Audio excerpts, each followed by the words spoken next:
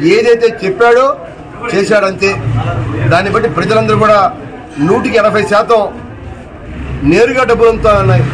ఎవరు కూడా మధ్యవర్తులు లేరు. మధ్యలో నాయకులు లేరు. నేరుగా డబ్బులు వచ్చేసరికి ప్రజలందరూ కూడా మేము గడప గడపకి వెళ్ళే సందర్భంలో మమ్మల్ని నవ్వుతూ ఆహ్వానిస్తున్నారు ఇవాళ. కాబట్టి చంద్రబాబు నాయుడికి నిజంగానే రేపు ఇరవై నాలుగు ఎన్నికలు ఆఖరి ఎన్నికలు. ఆయన ప్రజలు కూడా నమ్మే పరిస్థితి లేరు. ఆనాడు ఎన్నిక మన శాసనసభలో కూడా ఇది కౌరవ సభ. నేను మళ్ళీ తిరిగి రానన్నాడు. మాట అన్నట్టుగానే ఆయన తిరిగి బయటకు వెళ్ళిపోయాడు. ఆయన జీవితంలో మళ్ళీ తిరిగి శాసనసభలో అడుగుపెట్టే అవకాశమే లేదని చెప్పి మేము ఖచ్చితంగా చెప్తున్నాం. ప్రజల విశ్వాసాన్ని పూర్తిగా కోల్పోయిన వ్యక్తి చంద్రబాబు నాయుడు. కాబట్టి ఆయన అన్నమాట నిజమే. వాళ్ళ ఎవరు కూడా ప్రజల తెలుగుదేశం తమ్ముడు చెప్పాడు తప్ప ప్రజలు చెప్పట్లే ఆయన అప్పీల్. ప్రజలు నమ్మట్లేదు కాబట్టి ఆయన అప్పీల్ వాళ్ళకి ముందు చెప్పాడు కాబట్టి ఇవాళ తెలుగుదేశం పార్టీ నాయకులు కూడా ఎవరు విశ్వసించ విశ్వసించడం లేదు కాబట్టి తప్పకుండా రేపు రాబోయే ఎన్నికల్లో ఘంటాపథంగా రేపు రెండు వేల ఇరవై నాలుగు ఎన్నికల్లో ప్రజలందరూ కూడా వైఎస్ఆర్సీపీ వైపే ఉన్నారు. జగన్మో జగన్మోహన్ రెడ్డి గారిని మళ్ళీ తిరిగి ముఖ్యమంత్రి చేయాలని చెప్పి దృఢ నిశ్చయంతో ఉన్నారు. చంద్రబాబు నాయుడికి జీవితంలో ముఖ్యమంత్రి కాలేడు కాలేడు అని చెప్పి మేము ఖచ్చితంగా చెప్పగలుగుతున్నాం.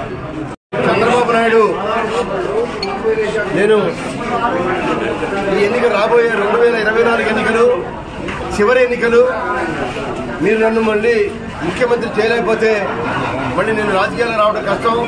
నాకు రాజకీయ జీవితం ప్రసాదించని చెప్పి తెలుగు తమ్ముడిని ప్రాధాన్యపడుతున్నాడు అంటే ఆయనకి అర్థమైపోయింది.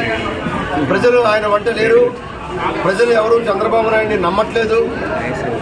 విశ్వసనీయతని పూర్తిగా కోల్పోయాడు చంద్రబాబు నాయుడు అనే ప్రజలందరూ కూడా నమ్ముతున్నారు కాబట్టి చంద్రబాబు నాయుడు పరిస్థితి చాలా దయనీయమైన పరిస్థితిలో ఉన్నాడు ఇవాళ. ఆయన వెంట సరైన కేడర్ లేదు. నాయకులు ఎవరు కూడా తెలుగుదేశం పార్టీ నాయకులు కూడా ఆయన విధానాన్ని నచ్చట్లా. కాబట్టి మొన్న పవన్ కళ్యాణ్ ఆయన రెండు చోట్ల పోటీ చేసి ఓడిపోయాడు ఓడిపోయాడు వ్యక్తి. అటువంటి పవన్ కళ్యాణ్ హోటల్లో ఉంటే చంద్రబాబు నాయుడే నేరుగా వెళ్ళి ఆయన కాళ్ళు పట్టుకునే దుస్థితికి ఆయన వచ్చాడు. నలభై ఏళ్ళ ఇండస్ట్రీ అంటాడు. పద్నాలుగు సంవత్సరాలు ముఖ్యమంత్రి చేశాడు ఈ రాష్ట్రానికి. పది సంవత్సరాల పాటు ప్రతిపక్ష నాయకుడిగా చేశాడు.